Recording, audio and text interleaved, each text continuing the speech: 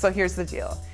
You fill out an application, apply for a job with us, and sometimes it can seem like a mystery, a little bit of a black hole. What happens afterwards? Can you communicate with us? Do we call you? Do we actually read every resume that we get? At Deluxe, we're trying really hard to improve that candidate experience. We want to think of you more as customers instead of candidates.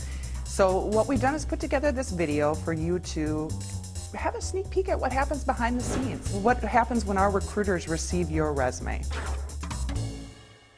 It's not unusual for us to get about 100 or more resumes for each position here at Deluxe. Sometimes we even get 200 resumes.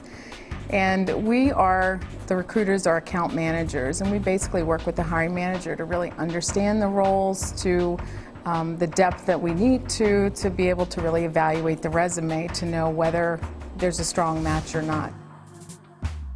Some of the recruiters print the resumes out, some of them review them online, uh, some of them highlight key experiences and technical abilities. Um, it really varies from recruiter to recruiter, but we do want you to know that we do take the time to really review the resumes.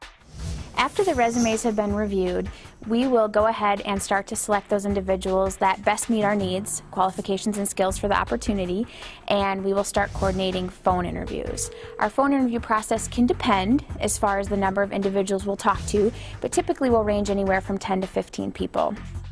Along with that range, we also have a range for the length of time that the interview can take. It can be anywhere from 15 minutes to 60 minutes. And really the things that we look for during that phone screen are things like your skills, your qualifications, how they relate to the opportunity available. Why did you apply? What do you know about the organization? So we're going to really ask you a lot of those questions, but in turn, we want you to ask us questions because it's a two-way street.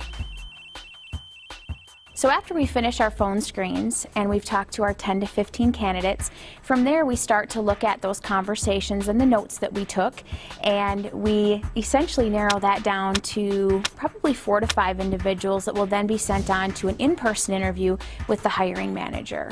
The hiring manager interviews can take anywhere from 60 minutes to two hours, and there can be more than one hiring manager interview, again, depending on the, the position and the process that was outlined up front.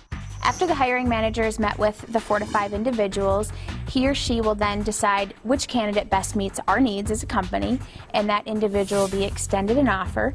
Prior to that, there could be some additional things that take place, such as assessments, reference checks. There's always a background and drug test, but essentially that offer step would be next. All of the individuals that were not the best fit for that opportunity at that time will be notified either via phone or via email. So chances are you still have questions, maybe about our recruiting process or our team or our culture.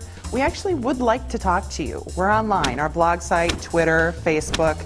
Please come ask questions and join in the conversation. Our goal here really is to improve your experience with us.